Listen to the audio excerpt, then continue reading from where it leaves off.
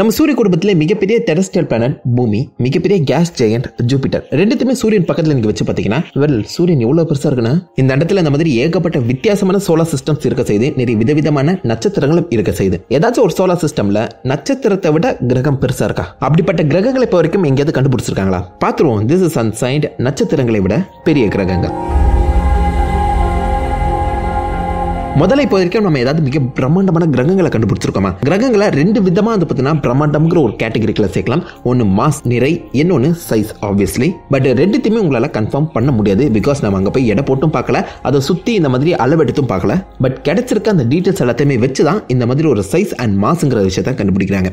சில கிரகங்கள் பிரம்மாண்டமாக இருக்கும். அதை டேரக்டா டெலிஸ்கோப் மூலியமா பார்த்துருவாங்க. அதை டேரக்ட் இமேஜிங் சொல்லுவாங்க. அண்ட் சில கிரகங்களை டிரான்சிட் இமேஜிங் மூலியமா தான் கண்டுபிடிப்பாங்க. டிரான்சிட் மூலியமா கண்டுபிடிக்கிறத வச்சு நிறைய டீட்டெயில்ஸ் இருக்கலாம் ஆனால் டைரக்ட் இமேஜிங் மூலியமா கண்டுபிடிக்கும் போது அதோடைய டீட்டெயில்ஸ் அதோடைய சைஸ் எடைங்கிறது அவ்வளோ டீட்டெயில்டாக கிடைக்காது. ஒரு யூகமாக தான் எடுக்க முடியும். அந்த வகையில் முதல்ல நம்ம பார்க்க போகிற மிக பிரம்மாண்டமான கிரகம் ஹல்க் அதாவது ஹல்க் ஆஃப் த சூப்பர் எர்த்துன்னு சொல்லப்படுற TOI ten seventy five B இந்த கிரகம் நம்ம பூமியிலேருந்து கிட்டத்தட்ட நூறு ஒளியாண்டுகள் ஹண்ட்ரட் லைட் இயர்ஸ் தள்ளி இருக்கு இது டிஓஐ டென் செவன்டி ஃபைவ் சொல்லப்படுற ஒரு நட்சத்திரத்தை தான் சுற்றி வளம் வருது. பூமி மாதிரியே இருக்குன்னு சொல்றதுக்கான காரணம் இது ஒரு கேஸ் ஜெயின் கிடையாது. பூமி போலவே ஒரு டெரஸ்டியல் பிளானட் இதோடைய சைஸ் வந்து பார்த்தீங்கன்னா பூமி போலவே ரெண்டு மடங்கு பெருசு. ஸோ அதனால இதை சூப்பர் எர்த்துங்கிற மாதிரி கூப்பிடுவாங்க இந்த மாதிரி பல வித்தியாசமான கிரகங்கள் கண்டுபிடிக்கப்பட்டிருக்கு. பூமியோட மூணு மடங்கு பெரிய சூப்பர் எர்த்ல கண்டுபிடிக்கப்பட்டிருந்தாலும் இந்த TOI ten seventy five B மட்டும் ஹல்க்குங்கிற மாதிரி கூப்பிடுறாங்க. அதுக்கான காரணம் இதோடைய எடை பூமியோட பத்து மடங்கு பெருசு. கெப்லர் பல விதமான சூப்பர் எர்த்ஸை கண்டுபிடிச்சிருக்கு அதோடைய எடை பூமியோட மூணு நாலு மடங்கு தான் பெருசாக இருக்கும்.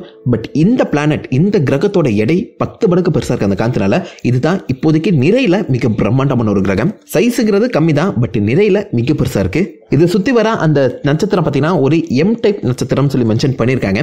கண்டிப்பாக அந்த கிரகத்தோட நட்சத்திரம் பெருசு தான் பட் இந்த கிரகத்தோட எடைங்கிறது பூமியோட மிக பிரம்மாண்டம். ஆனால் அந்த கிரகத்துக்கு நீங்கள் போனீங்கன்னா பூமியில் நூறு கிலோ இருக்கும் பட்சத்தில் அந்த கிரகத்தில் முந்நூறு கிலோ இருப்பீங்க. ஜிம்ல தான் கொடுத்த நத்தணும் போல.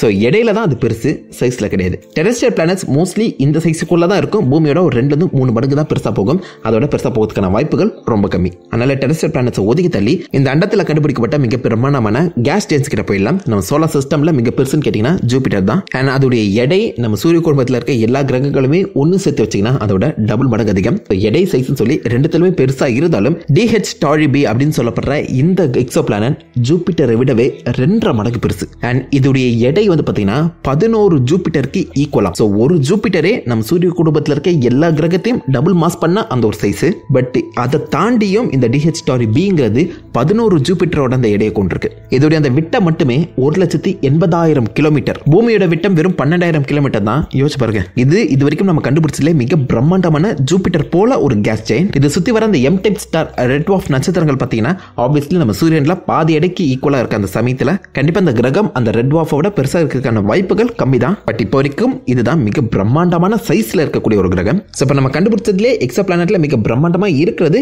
இதுதான். பட் இதை விட பிரம்மாண்டமான கிரகங்கள் கண்டுபிடிக்கப்படலையா நீங்க கேட்டீங்கன்னா வெல் அதை நம்ம கிரகங்கள் சொல்ல முடியாது நட்சத்திரங்களும் சொல்ல முடியாது. ரெண்டுத்துக்கும் நடுவாப்புல ஒரு விஷயம் இருக்கு அதுதான் ப்ரௌன் டுவாஃப்னு சொல்லுவாங்க. ஸோ கிரகமா இருந்து நட்சத்திரமா மாற முடியாத அளவுக்கு மாஸ் குறைய இருக்கிறத தான் ப்ரௌன் டுவாஃப்னு மென்ஷன் பண்ணுவாங்க. ஒரு நட்சத்திரம் உருவெடுக்கணும் ஒரு நட்சத்திரத்தை நம்ம கேட்டகரைஸ் பண்ணணும்னா அதுக்கு zero point zero eight solar masses இருக்கணும்.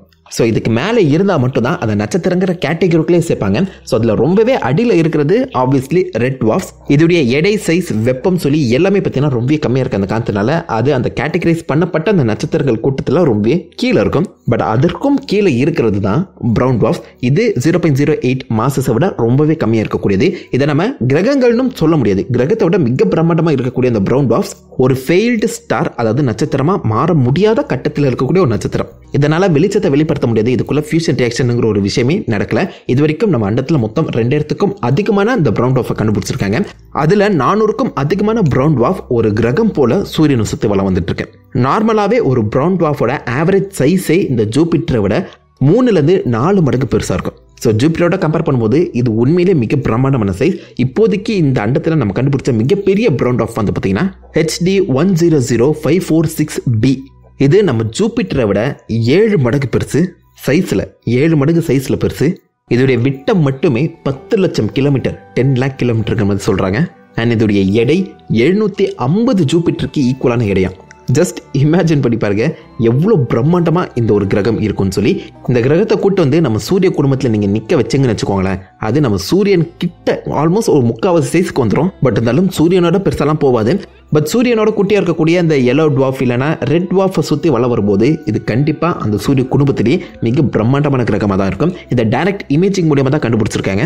ஸோ அதனால் இதோடைய சைஸ் டிட்டர்மினேஷன் நமக்கு தெளிவாக தெரியலனாலும் கண்டிப்பாக இது வரைக்கும் நம்ம கண்டுபிடிச்சதுலேயே மிகப்பெரிய எக்ஸோ பிளானட் இதுன்னு சொல்லலாம்.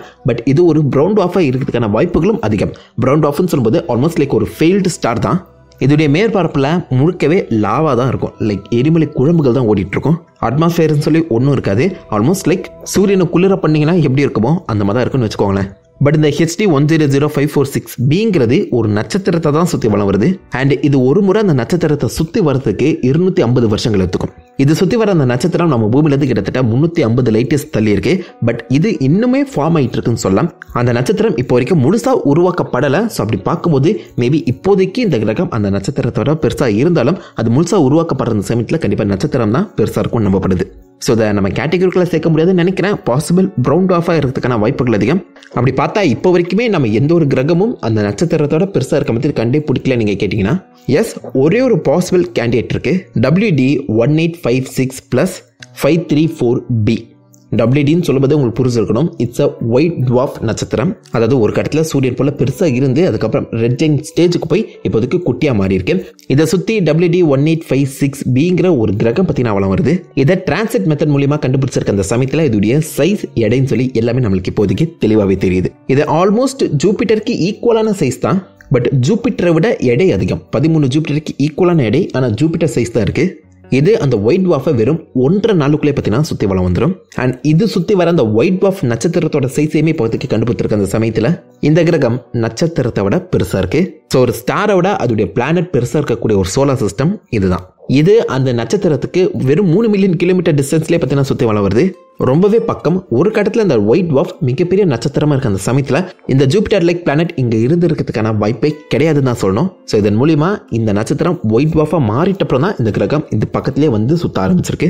ஆர் பாசிபிளி ஒரு கட்டத்தில் அந்த நட்சத்திரம் பெருசாக இருக்கும்போதே அந்த கிரகம் உண்மையாகவே இந்த நட்சத்திரத்தை கொஞ்சம் டிஸ்டன்ஸில் சுற்றி வளம் வந்திருக்கலாம். இது ஒயிட் வாஃபாக மாறிட்டப்புறம் அதோடைய ஆர்பிட்டல் ரேஞ்சுங்கிறது உள்ளே போயிருக்கலாம். ஸோ எப்படி பார்த்தாலும் இப்போதைக்கு நம்ம கண்டுபிடிச்சதுலேயே நட்சத்திரத்தை விட பெரிய கிரகம் இதுதான். இதே மாதிரி ஏகப்பட்ட பல்சார் நட்சத்திரங்களை சுற்றியும் நிறைய கிரகங்கள் வலம் வருது. ஒரு பல்சார் இல்லைனா நியூட்டன் ஸ்டார் எடுத்து பார்த்தீங்கன்னா அதோடைய சைஸுங்கிறது ஒரு முப்பத்தஞ்சுலேருந்து நூறு கிலோமீட்டருக்குள்ளே தான் இருக்கும். அதாவது சென்னை சிட்டிக்குள்ளே நீங்கள் அந்த பல்சார் இல்லைனா நியூட்டன் ஸ்டாரை அடைச்சிடலாம். ஆனால் அதோடைய எடைங்கிறது சூரியனுக்கு ஈக்குவலாக இருக்கும். ஸோ அப்படி பார்க்கும்போது அந்த நட்சத்திரத்தாலையும் ஒரு சோலார் சிஸ்டமை ஹோல்ட் பண்ணி வைக்க முடியும். அந்த மாதிரி பல சோலார் சிஸ்டமை கண்டுபிடிச்சிருக்காங்க. பட் அந்த பல்சார் நியூட்டன் ஸ்டார் ஆல்ரெடி குட்டியாக இருக்க அந்த காரணத்தினால தான் நம்ம அதை பற்றி பெருசாக டிஸ்கஸ் பண்ணலை. ஒரு சாதாரண நிலவே இந்த பக்கம் பல்சார் அண்ட் நியூட்டன் ஸ்டாரோட பெருசாக இருக்கலாம். அதே மாதிரி நிறைய கிரகங்கள் பிளாக் ஹோலோடவும் பெருசாக இருக்குது பிளாக் ஹோல சைஸை நீங்கள் வந்து கன்சிடர் பண்ண முடியாது. ஏன்னா அது உள்ள என்ன சைஸில் இருக்குன்னு யாருக்குமே தெரியாது. நம்ம சூரியன் எடையுள்ள ஒரு பிளாக் ஹோலை நீங்கள் கிரியேட் பண்ணிங்கன்னா அது வெறும் பட்டாணி சைஸில் தான் இருக்கும். அண்ட் சூரியன் இருக்க இடத்துல அந்த பிளாக் ஹோலை நீங்கள் வச்சீங்கன்னா அது சுற்றி இருக்க கிரகங்களை உள் வாங்கிக்காது. ஏன்னா அது சூரியனோட எடை இருக்க அந்த காரணத்தினால சூரியனை சுற்றி அந்த கிரகங்கள் வலம் வர மாதிரி இந்த பிளாக் ஹோலை சுற்றியும் வளம் வரதான் செய்யும். ஆனால் பெருசாக வெளிச்சம் இருக்காது. அவ்வளோதான் ஸோ இந்த சமயத்தில் நம்ம பூமி ஏன் நிலவே அந்த சூரியனை ரீப்ளேஸ் பண்ண பிளாக் ஹோலோட பிரம்மாண்டமாக தான் இருக்கும். சிம்பிளாக சொல்ல போனோம்னா இந்த அண்டத்தில் சைஸுங்கிறது முக்கியமே இல்லை. எந்த அளவுக்கு மாஸ் நிறைய அதிகமாக இருக்குதுங்கிறது தான் முக்கியமே. This is ancient shining of